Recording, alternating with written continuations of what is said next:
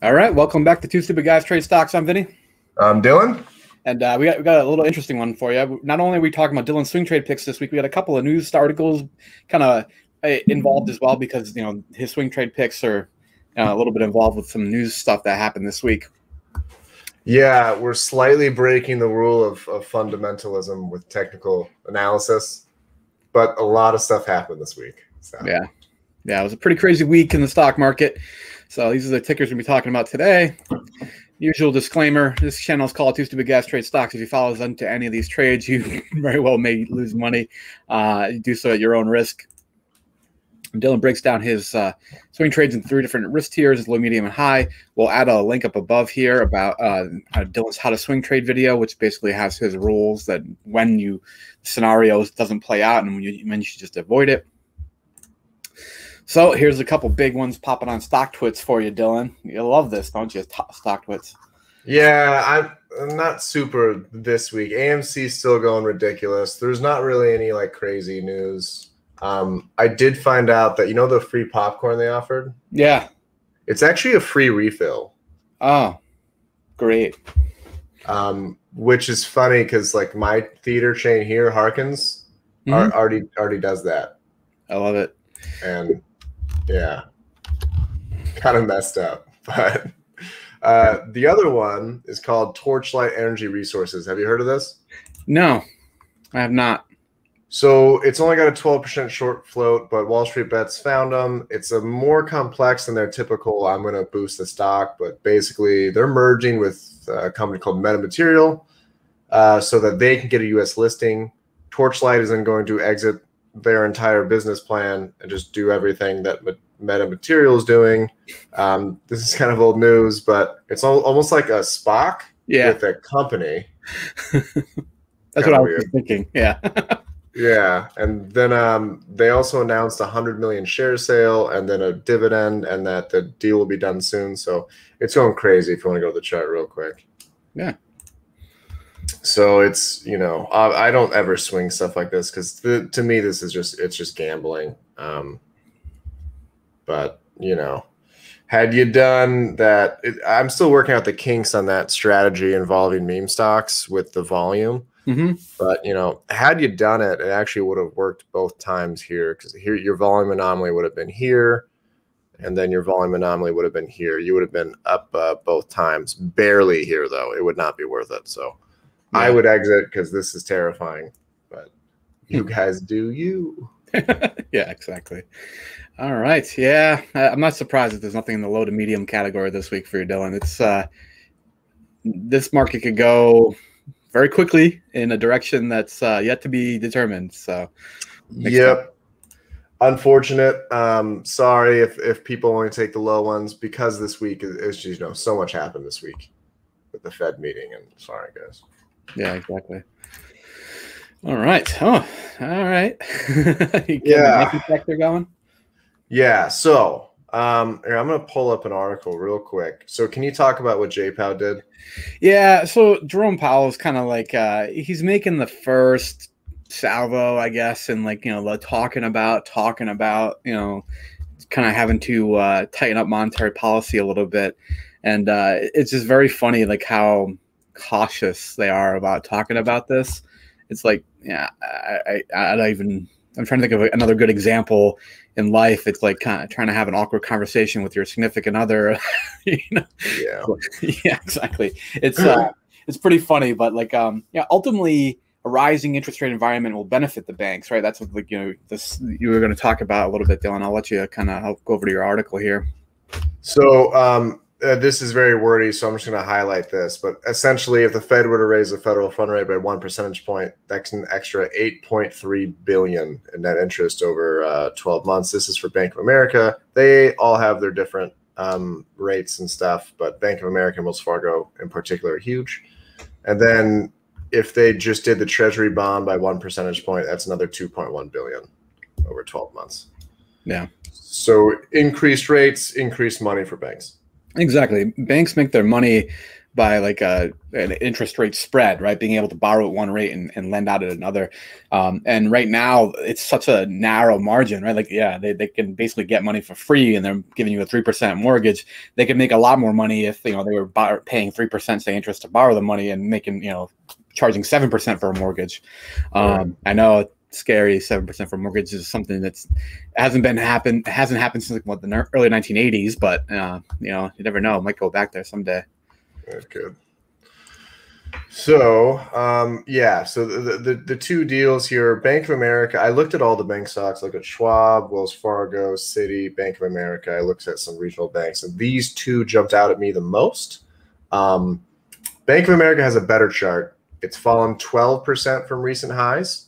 And I'm going to show you in the chart, but it's bouncing off the 100 SMA perfectly. And then Citigroup, much worse chart, but down 16% and they're all relatively affected in the exact same way. Um, in the fact that this is most likely, to me, a little bit of market manipulation to hedge funds or something selling off a position so they could buy at a lower price. Because when stuff drops, it drops a lot faster than when it goes up. Hmm. Um, so let's go to the charts real quick. So obviously, you know, I, I probably wouldn't take both of these. It's yeah, just, I'm I'm long Bank of America too, just for FYI purposes. Bank of America is prettier. So yeah. this is the 100 SMA. Um, we had this big gap here. They actually held up um, pretty well comparatively to the other banks during the sell-off. I was I was pretty impressed. But then they had a large gap down day.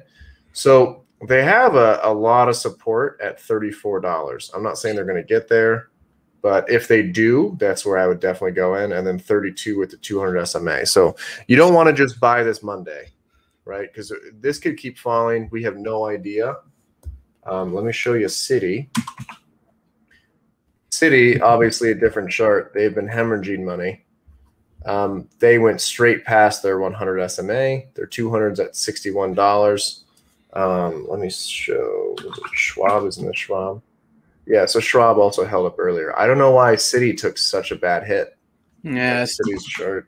Citi's always been like the dog of banks, you know it's just just so much worse. I, I finally exited my my Citi uh, position. It they always trade under book value for the most part. That's just them. They just you know they they're constantly in like a, a reinventing themselves kind of category, and they they just always underperform other banks. here's here's the the sexy part though. Look at their RSI is at twenty. that they're they don't ever trade that low. Yeah. Like, what were they right here? This was 25, and then they popped all the way back up. They don't ever do that. What's that? What's BACs? Like, 20 is low, guys. What are they at? They're at 28 for Bank of America. Hmm. That's I think that's low, but it's it's not 20. So, anyways, yeah. that's that's what we're looking at for banks. Yeah, pretty crazy. All right, we got a couple more high risk plays, progressive and Simon Property Group, huh? Yeah, if you if you guys remember, Progressive was on my could set up next week list. It's doing it. All right, let me pull it up. Um, but basically, they had a monster, monster rejection candle. Um, crazy volume. Sometimes it signals a reversal. Sometimes there's a very frustrating pattern where actually, let me, um, I'll show you on the chart. Hmm. It's gonna be too hard to so here's the monster rejection candle. Okay, it's very obvious. They're also at about 30. They, you know, they do trade around this range for RSI during those corrections, but this is like, you know, they were having more volume than they usually do the last two weeks, but they doubled it. So that's this is quite the candle, is what I'm trying to say. Um, they also have pretty strong support, essentially at 89.90. So I would probably take this if they set a new high. The reason why this is still risky is because they they still haven't been setting new highs. So lower low, lower low, lower low, low, low, low. You know, it's still a staircase going down, with mm-hmm. the exception of this candle. Um, so you you know this is I think this is going to be a good trade, but this is still in the catching the knife category. So you got to be careful of your risk tolerance. Just because it's a high volume bar and it looks really pretty doesn't mean it's going to work out. So. Hmm. All right, and Simon Property Group It's not a position I'm in. Actually, I got I got Dylan and them back in what like November timeframe or so. We picked up some Simon Property Group. I know. Yeah. But I so I, I sold a couple times. I also bought at 115 and then I sold at um 133, 132, I think. Mm-hmm. Um, but same kind of deal as Progressive. However, they don't really have a reason to be correcting.